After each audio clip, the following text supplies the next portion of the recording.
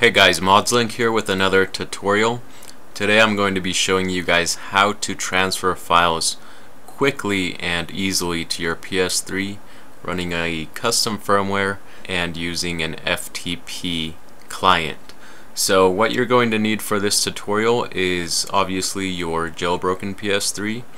If you don't have one and you want one, you can purchase a 3.55 original firmware PS3 from the ModzLink store located in the description below and then use the Rebug 4.78.1 tutorials to update your console up to a Rebug custom firmware.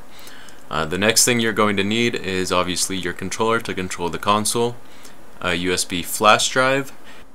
You will also need a computer as well as a wireless router. Your PS3 can be connected either via Wi-Fi or with an Ethernet cable. After you have done that, go ahead and get your flash drive and we will go over to the computer and download the files that we need. Alright, so over on your computer, first off go to these two URLs and download these files. The first one is Multiman version 4.78. So download the base version here.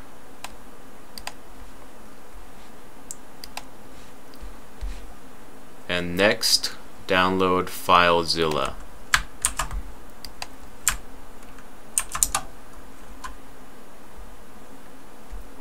So here, uh, these two links will be down in the description, so download whichever version fits your computer, so Windows 64-bit, 32-bit, Linux, or Mac OS X.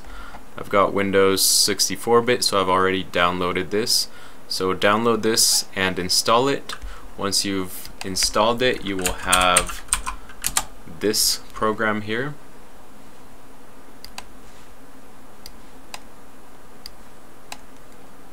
And the next thing we need to do is plug in our flash drive once the flash drive comes up, make sure it's configured to work with your PS3. If you need help uh, configuring your USB flash drive, look in the description below and you'll see a video there on how to set up your flash drive for use with your PS3 or custom firmware PS3. Next, get this multi-man package that you just downloaded and put it on your flash drive and make sure it's just on the root of the flash drive. Alright, so once that's transferred, you will have this Multiman version 4.78 base blah blah blah package file.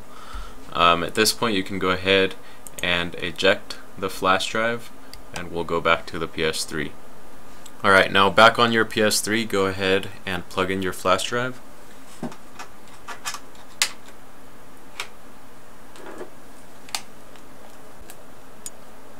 And go over to your package manager, install package files, standard, and here you will see that multi-man package file. Go ahead and install it. Uh, by the way, this will work on DEX or CEX consoles. It doesn't matter. Once you have that installed, um, you can go ahead and load up Multiman wherever that is. Right here. Agree to these terms.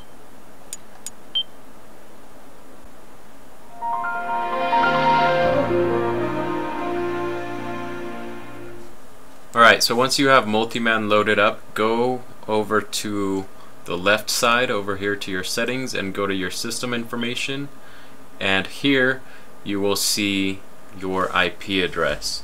So go ahead and pull up FileZilla on your computer.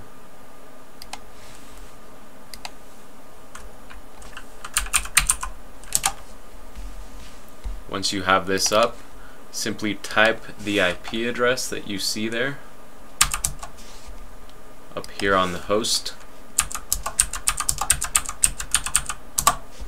Your username and password can be left blank, then click Quick Connect. And,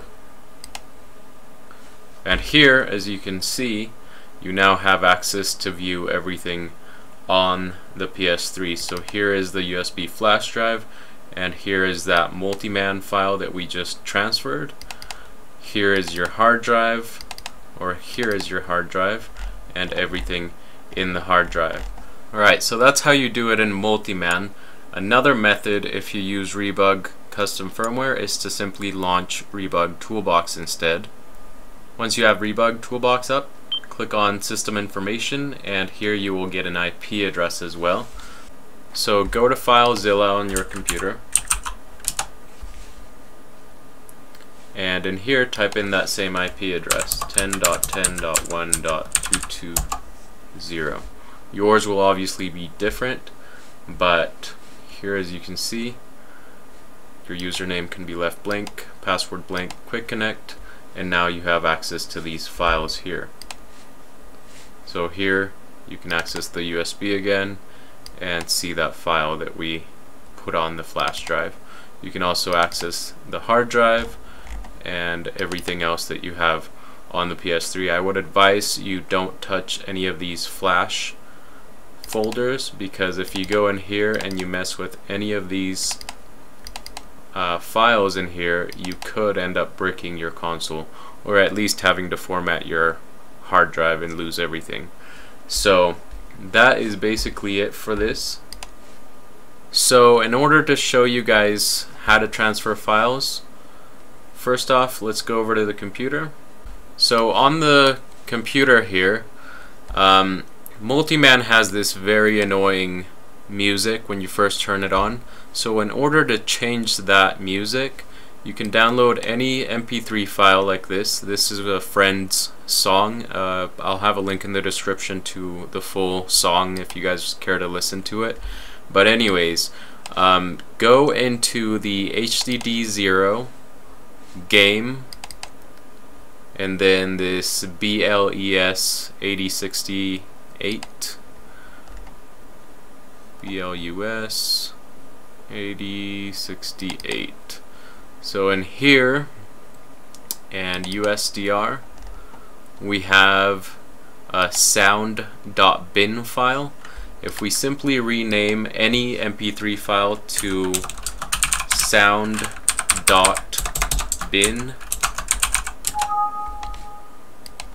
we can replace that annoying sound with any sound that we want. So simply drag your file over to where you want it.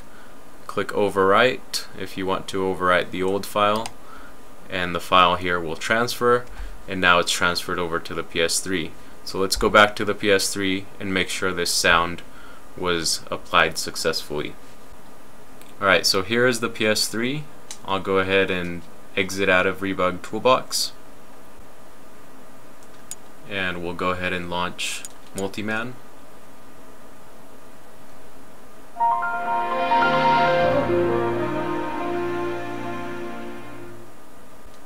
So I actually have my sound turned off because the sound was so annoying, but let me go ahead and turn it back on here.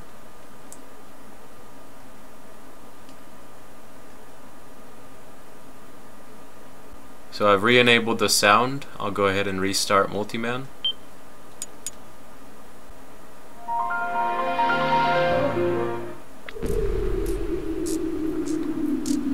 Now as you can obviously hear, it's a completely different song now. It's not the uh, super annoying lady, I don't know, whatever kind of music they put on here. It's super annoying if you guys know what I'm talking about. But yeah, that's how you change the music on Multiman and also transfer files to and from your PS3 via FTP.